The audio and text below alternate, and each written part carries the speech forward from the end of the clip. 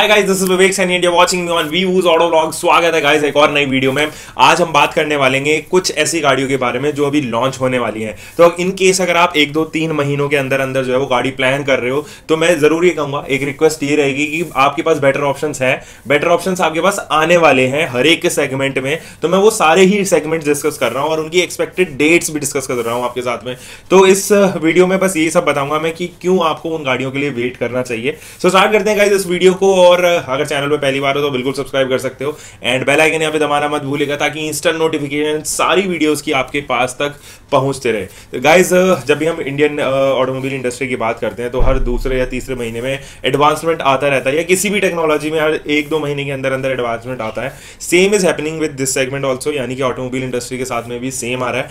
ऐसे में अभी इंडियन ऑटोमोबाइल इंडस्ट्री में जो जितनी भी प्रेजेंट गाड़ियाँ हैं और उनके आने वाले कॉम्पिटिटर्स उनकी यहाँ पर जरा मैं बात करने वाला हूँ तो थम जाओ जरा सा अगर डिसीज़न कोई ले लिया किसी गाड़ी के ऊपर और उन गाड़ी की लिस्ट में ये सारी चीज़ें हैं जो मैं आपको बताने वाला हूँ तो थोड़ा सा थम जाओ और कुछ दिनों का वेट कर लो बिकॉज़ ज़्यादा बेटर ऑप्शन आपके पास में हो सकते हैं, उनके बजाय वो गाड़ी खरीद लेना एक ज़्यादा बेहतर ऑप्शन आपके लिए यहाँ पर हो सकता है। सो एनी स्टार्ट करते हैं। सबसे पहले एंट्री लेवल हैचबैक को यहाँ पर मैं बताता हूँ। आपके पास एंट्री लेवल हैचबैक में अभी तीन ही ऑप्शन है रेनो क्विड ऑल्टो एंड तीसरा ऑप्शन है रेडिको इन तीनों के अलावा कोई और ऑप्शन आपके पास में नहीं है। दो ऑप्शन जो है वो ऑलरेडी अपने सेगमेंट में रेनोक्विड ने फेसलिफ्ट दिखा दिया था। ऑल्टो का भी लास्ट ईयर फेसलिफ्ट आया था बट वो कुछ ज़्यादा ऐसा कुछ फेसलिफ्ट नहीं था कि उसको कंसिडर किया जाए। ऐसे में रेडिको जो है वो अभी फेसलिफ्ट के साथ में आने वाली है। हालाँकि अभी अप्रैल तक उसको लॉन्च हो जाना चाहिए था बट क्वारंटाइन एंड कोरोना की वजह से जो है वो अब डिले हो गया है, एक से दो महीने आगे तक। जब भी फर्दर डेट जो है वो मैनुफेक्चर बताएँगी, मैं आपको ज़रूर अपने इंस्टाग्राम हैंडल पर अपडेट करता रहूँगा। ये रहा इंस्टाग्राम आईडी यहाँ पर ज़रूर फॉलो कर लीजिएगा गाइज़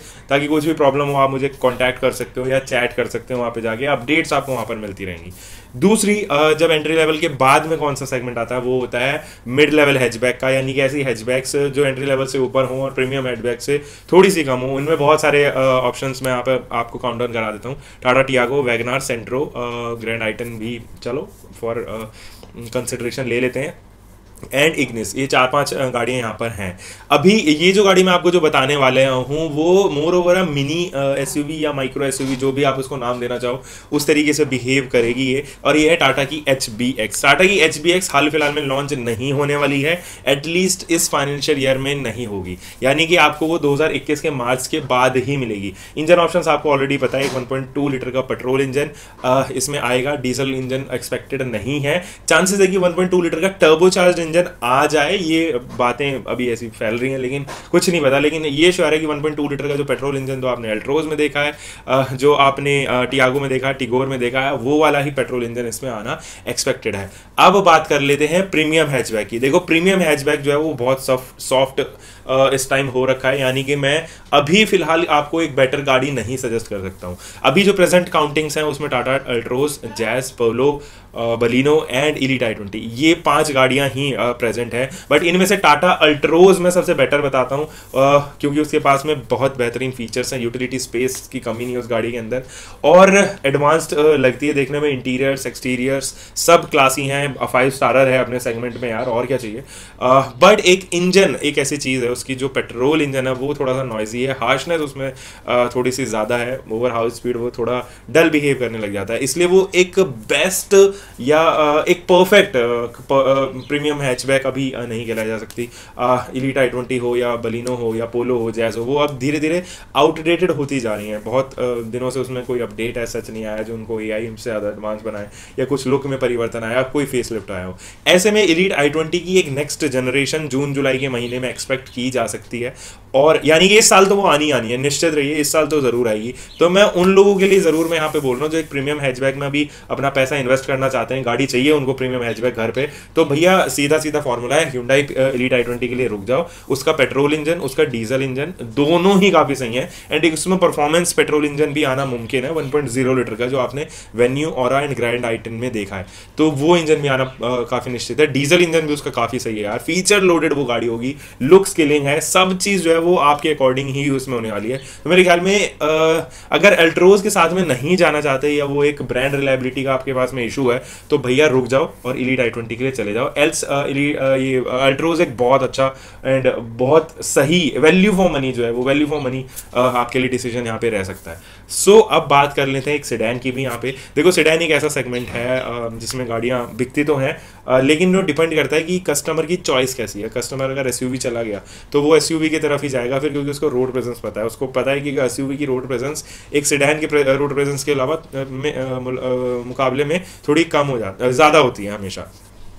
और फ्लॉन्टिंग एस ज़्यादा होती हैं। तो ऐसे में एस की तरफ़ भी खिसक सकता है। सेडैन उन्हीं लोगों को चाहिए जो कंफर्टेबल राइड्स में बिलीव करते हैं लुक्स में बिलीव करते हैं और जिनको यू नो एक राइड क्वालिटी जो होती है, वो सेडैन में हमेशा बेहतरीन रहती है। किसी भी सेगमेंट की आप गाड़ी उठा के देख लो प्रॉपर सेडैन में जो है वो ज़्यादा बेहतरीन ड्राइव सेशन रहता है। एनी वे यहाँ पर मैं बात कर रहा हूँ होंडा सिटी की। होंडा सिटी अभी कम्पीट कर रही है वर्ना के साथ में वेंटो के साथ में रैपिड के साथ में यस यही चार पाँच एंट्रीज हैं यहाँ पर। और पुराने वाली होंडा सिटी जो है, वो अब आउटडेटेड हो गई है। लुक्स में वो अभी भी इन सेगमेंट में आने वाली, जितनी गाड़ियाँ हैं, उनसे बेटर है, वरना को छोड़ के। But next generation Honda City जो है, वो सोलह मार्च को लॉन्च होनी थी इंडिया में बट उसको डिले कर दिया है ऑब्वियसली क्वारंटाइन की वजह से। तो एक दो महीने और डिले जो है, वो यहाँ पर हो सकता है। अब बात कर लेते हैं कॉम्पैक्ट एसयूवी की। कॉम्पैक्ट एस की श्रेणी में मैं तीन गाड़ियों यहाँ पुटअप करूँगा। एक पहली गाड़ी जो है, वो है किया सोनेट दूसरी और तीसरी गाड़ी रेनो की एक कॉम्पैक्ट एसयूवी आने वाली है एच करके उनको कहा जा रहा है। अभी कुछ भी कहना जो है वो पॉसिबल नहीं है, क्योंकि रेनो ने कुछ भी ऑफिशियल स्टेटमेंट ऐसी नहीं दी है। एक कॉम्पैक्ट एसयूवी बट ज़रूर दोनों की ऑफरिंग्स में आएगी सेम इंजन ऑप्शन के साथ में। वन लीटर का पेट्रोल टर्बोचार्ज इंजन जो है वो शायद वो इम्पोर्ट किया जाएगा मेरे ख्याल में। वो या फिर यहाँ पर इन हाउस भी प्रोड्यूस किया जा सकता है। वो टर्बो इंजन जो है वो रेनो डस्टर में पहले आएगा, फिर और इस कॉम्पैक्ट एस में भी आना निश्चित। हो सकता है ये कि वो आ जाए और एक डीजल इंजन एक्सपेक्ट किया जा सकता है। अभी तो पुराने वाला के नाइन के जो सीरीज़ का जो डीजल इंजन था, वो डिसकंटिन्यू कर दिया गया है। तो रेनो डस्टर अब फ़िलहाल तो जो है वो डीजल में नहीं आ रही है। तो दूसरी किया सोनेट ये बहुत पोटेंशियल प्रोडक्ट है यार। किया आपने कार्निवल देखी है किया कि आपने सेल्टॉस देखी है। एंड सेल्टॉस डीजल का जो इंजन है, वो डिट्यून करके इस वाली गाड़ी में दिया जाएगा। 1.0 लीटर का पेट्रोल इंजन जो कि टर्बोचार्ज इंजन होगा, जो आपने वेन्यू में देखा इलीट आई में देखोगे। एंड और एंड आई ट्वेंटी में आई टेन में देखा, वो इसमें आना निश्चित है। एंड एक 1.2 लीटर का पेट्रोल इंजन जो आप ग्रैंड आई टेन और एक्सेंट में देखते हो या फिर आप इलीट आई ट्वेंटी में देखते हो वो भी इसमें आ सकता है। सो so, इसकी एक्सपेक्टेड प्राइस जो है वो छः लाख पिछहत्तर हज़ार के आसपास है छः लाख सत्तर हज़ार रुपये के आसपास जो है वो एक्सपेक्ट की जा सकती है। और ऐसे में ये एक बेहतरीन एसयूवी हो सकती है क्योंकि ये कनेक्टेड फीचर्स के साथ में आएगी। एंड इसके लुक जो है वो लिटरली लाजवाब है जैसे प्री प्रोडक्शन रेडी मॉडल हमने ऑडोक्समो में देखा था वो ऑलमोस्ट रेडी ही था लगभग एट्टी परसेंट जो है वो कंप्लीट मॉडल था। वो काफ़ी सही लग रहा था गाइज़ फ्लोटिंग आपको यहाँ पर टच स्क्रीन इंफोटेनमेंट सिस्टम मिलेगा। तो बहुत सारी ऐसी जो है वो इस, इसके साथ में फैक्ट जुड़े हुए हैं कि ये गाड़ी ज़रूर एक बेहतरीन पैकेज के साथ में आने वाली है। सो इन केस अगर आप EcoSport Venue Nexon W R V X U three double O इन पाँच के साथ में से किसी एक के साथ में जाना चाहते हो तो थोड़ा सा रुक जाओ क्योंकि ये गाड़ी जो है वो अभी ऑफरिंग में आ रही है और आप इसको कंसिडर कर सकते हो। अगस्त तक एक्सपेक्ट किया जा सकता है बात कर लेते हैं गाइस सेवन सीटर ऑप्शन की। सेवन सीटर में आपके पास में बहुत ज़्यादा ऑप्शन नहीं है। यहाँ पर सेवन सीटर प्रॉपर एस की मैं यहाँ पे बात कर रहा हूँ। तो आपके पास में एक्स यू फाइव डब्ल्यू है। यहाँ पे uh, आप स्कॉर्पियो को ले सकते हो या हेक्सा को ले सकते हो। पुराने वाली सफारी थी जो डिसकंटिन्यू हो गई है। लेकिन ग्रेविटास जो है वो अभी आने वाली है। हेक्टर प्लस एक गाड़ी आने वाली है X U five double O and Scorpio इनके भी नई नई जनरेशन जो है वो लॉन्च होना